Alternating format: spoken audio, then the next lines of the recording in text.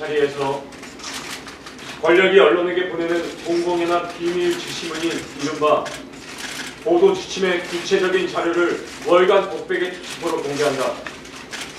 이 책을 읽는 국민들은 놀랄 것이고 당황할 것이고 분노할 것이다.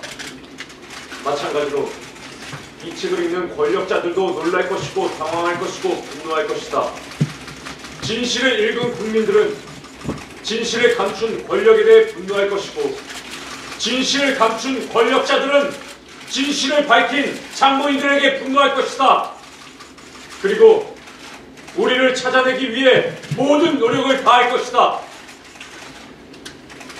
우리가 공개한 보도 지침을 은폐하기 위해 또 다른 보도 지침이 내려지고 있다는 소문을 들었습니다. 우리가 공개한 보도 지침은 보도 지침 때문에 보도가 되고 있지 않아요. 거꾸로 우리에 대해서 온갖 조작된 사실들이 보도가 되고 있어요.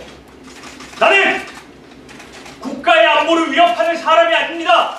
나는 사회주의자가 아닙니다. 나는 독을 추종하는 세력이 아닙니다. 나는 대한민국 국민입니다.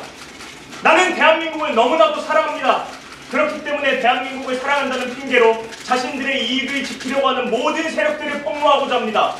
내가 반국가적인 인물이 아닙니다. 당신들, 나를 반국가적인 인물로 몰아세우는 당신들이 반국가적입니다. 답하라! 당신들은 권력을 어떻게 차지했는가? 답하라! 당신들은 차지한 권력을 누구를 위해 사용했는가? 답하라! 이 땅에서 이루어낸 기적 같은 경제 성장의 의미를 누가 다 차지했는가? 답하라! 이 모든 진실을 감추기 위해 아침마다 신문 사로 팩스를 보내는 자들은 누구인가?